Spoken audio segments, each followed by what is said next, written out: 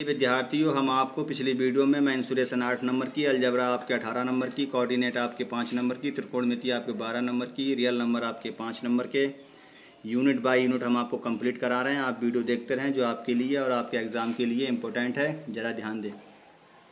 सबसे main question का समझना होता है। अगर आप क्वेश्चन समझ जाएँगे तो शायद आंसर या सलूशन बड़ा आसानी से कर भी लेंगे और समझ भी जाएँगे। देखिए, श्रेणी चार प्लस छः प्लस आठ प्लस डॉट डॉट का योगफल चालीस है तो एनवा पद ज्ञात करो। ज़रा ध्यान दें, क्या पूछ रहे हैं हमसे? एनवा पद ज्ञात करो। तो श्रेणी का पहला पद क्या होता है हमारा? ए बराबर चार। दोनों को अंतर करेंगे मतलब सेकंड में से फ़र्स्ट वाला निकालेंगे तो क्या मिल जाएगा आपको? डी बराबर दो। एन आपसे कह रहे हैं निकालना है तो एन बराबर प्रश्न मार्ग चिन्ह हो गया। ऐसा एन क्या है आपका? चालीस है। ये आपको दे रखा है, ये वाला मान निकाल कर लाना है। ज़रा ध्यान दें, हम आपसे पिछली वीडियो में भी कह चुके हैं और अब भी कह रहे हैं कि श्रेणी हमें कैसे मालूम पड़ेगी कि हमारी श्रेणी समांतर श्रेणी है।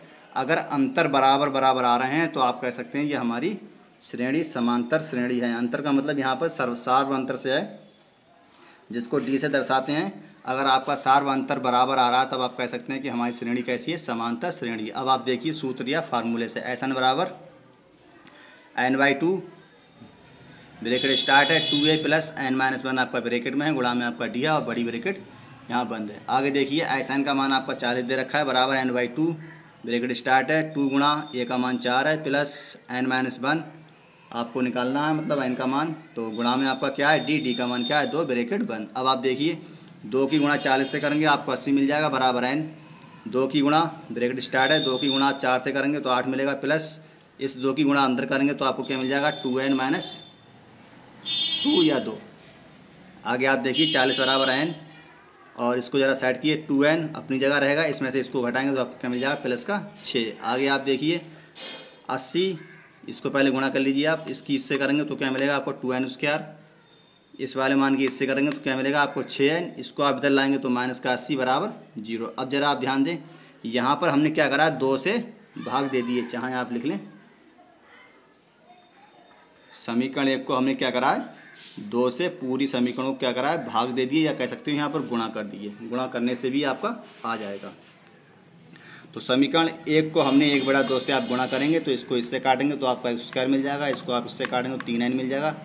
यहाँ पर ये एन है माइनस, इसको आप इससे काटेंगे तो चालीस हो जाएगा, बराबर आपका ज़ीरो। अब आप देखिए, ज़रा ध्यान दें, ये वाला आपका फैक्टर है, या गुणनखंड है, जो हम आपको पिछली वीडियो में विस्तार से समझा भी चुके हैं। आप वीडियो देखते रहें और फ़ायदा या लाभ उठाते रहें। देखिए, चालीस को ऐसा तोड़िए कि आपका क्या आ जाए? प्लस का तीन। तो आठ पंजे चालीस गुणा करने पर आपको चालीस मिल रहा है। जोड़ने या घटाने पर अगर आठ में से आप पाँच निकालेंगे तो आपको पॉजिटिव को तीन मिल जाएगा। अब ज़रा देखिए, एन स्क्वायर प्लस आठ एन माइनस पाँच एन माइनस चालीस बराबर ज़ीरो। जहाँ जहाँ हमने अंटरलाइन कर रखी, यहाँ से आप एन निकालेंगे, अंदर क्या बचेगा आपका? एन प्लस आठ माइनस के यहाँ से पाँच निकालेंगे, क्या निकाल बचेगा आपका? एन प्लस आठ बराबर ज़ीरो, ये वाला पार्ट और ये वाला पार्ट आप बाहर निकालेंगे, क्या बचेगा आपका? एन माइनस पाँच बराबर ज़ीरो। एक बार जब इसको आप इसके बराबर रखेंगे तो क्या मिलेगा आपको? माइनस का आठ एक बार इसको जब इसके बराबर रखेंगे तो आपको एन बराबर माइनस के, नहीं, पॉजिटिव के पाँच मिलेंगे। ज़रा देख लीजिए आप।